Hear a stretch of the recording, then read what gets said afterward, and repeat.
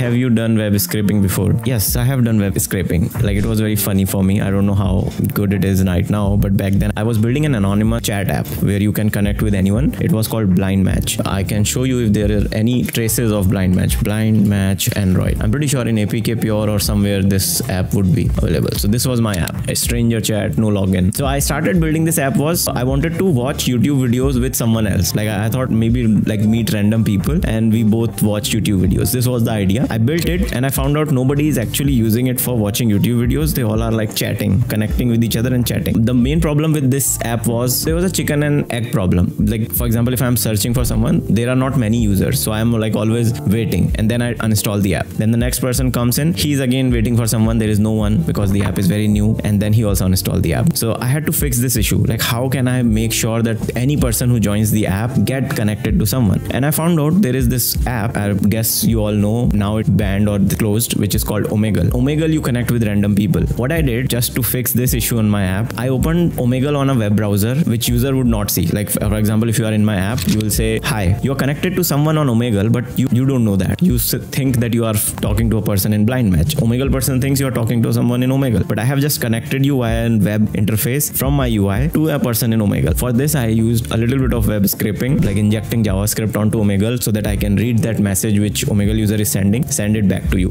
There was this unique case which I had to fix was Omegle used to show a captcha. Now this captcha, I had to just fetch that captcha from the web browser which user is not watching, show it to the user so that he can click on it and then he can connect to a person in Omegle. It was so fun to like do this hacky way of uh, fixing my app and this was the UI. I was really proud of this app. This app was generating pretty good revenue as well. I think the last update seems like in 2023 but to, to be honest like I just updated it after it was removed by Android.